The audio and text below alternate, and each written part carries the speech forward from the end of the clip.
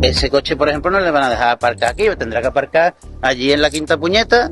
Y bueno, pues ahora todavía ya tenemos un clima agradable, pero cuando lleguen los días de lluvia, cuando llegue el verano, No, no, claro. el que salga a las 3, 4 de la tarde, harto trabaja todo el día, y ahora tiene que pegar 10 minutos andando, pues que esta zona es eminentemente eh, una zona laboral donde no hay residencia, aquí todo el mundo viene a trabajar. Ahí vienen unos señores y dicen, no, que tu coche no vale. Claro. Mi coche no vale.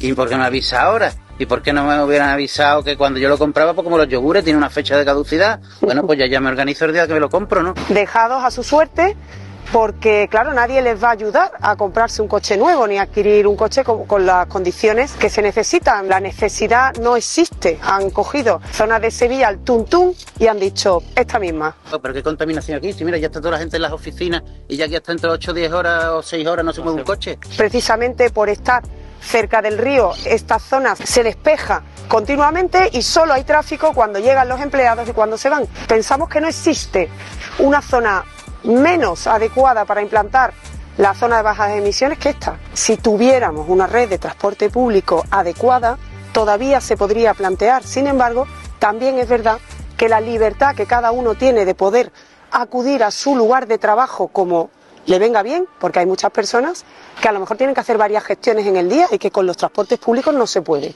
Nosotros lo que abogamos no es por la prohibición que tanto les gusta a los socialistas. Nosotros abogamos por medidas de apoyo que disuadan de coger el coche si uno lo ve necesario. Esto responde, como ya sabemos, a los planes estratégicos de Sevilla emanados de la Agenda 2030 que nos obliga a poner unas ciertas condiciones absolutamente innecesarias en una ciudad como Sevilla pues para cumplir con eh, los requisitos que nos pide Europa para darnos la subvención que no deja de ser, al fin y al cabo, una limosna